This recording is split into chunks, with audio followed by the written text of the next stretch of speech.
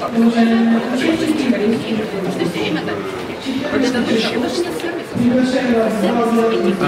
ее серьезно переформатируем.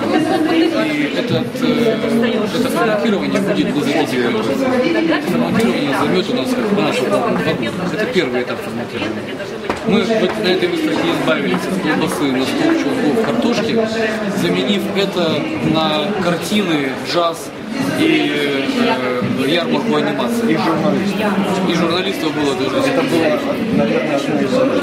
Э, Задача выставки в итоге, цель ее, в следующем году стать выставкой Украины украинского масштаба. Так, чтобы на этой выставке были представлены украинские санатории, чтобы она стала профильной выставкой санаторного, санаторно-курортного комплекса. Таких выставок, к сожалению, Украина имеет немного.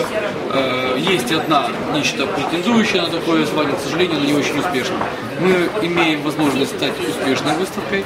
Крым все-таки столица э, санаторно-курортного оздоровления Украины, это факт, бесспорный факт. И, к сожалению, мы этот, этот статусом столицы долгие годы не пользовались. В следующем году эта выставка будет всеукраинского масштаба.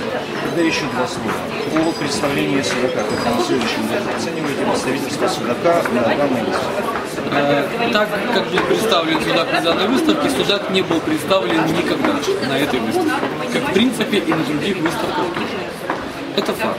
Но факт еще и то, что на этой выставке другие регионы Крыма э, были представлены не хуже. Например, Ялта э, подошла к этому, на мой взгляд, еще более Ну, вот ответственно, мы видим. Евпатория, Бахчисарай, Судак, Белогорск, то есть То есть города, целый ряд регионов были действительно выставке представлены уникально, так никогда не было.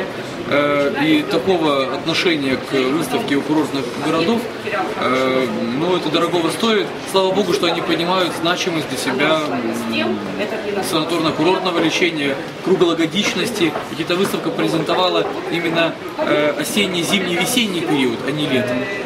Еще представлена вся Украина, отдельные крымские города не потеряют. Вот сейчас у них есть достойная доля внимания к ним именно к каждому городу. А когда здесь в следующем году будет вся Украина, Для этого надо не бояться фона. Надо выбирать себе фон сильный. Если вы хотите хорошо бегать, выбирайте себе партнера, с кем вы бежите 100-метровку сильного, а не слабачка, на фоне которого вы будете выглядеть героем. Э, Крым будет выглядеть на фоне Украины достойно. И если это будет не так, то он это будет должен подтягивать.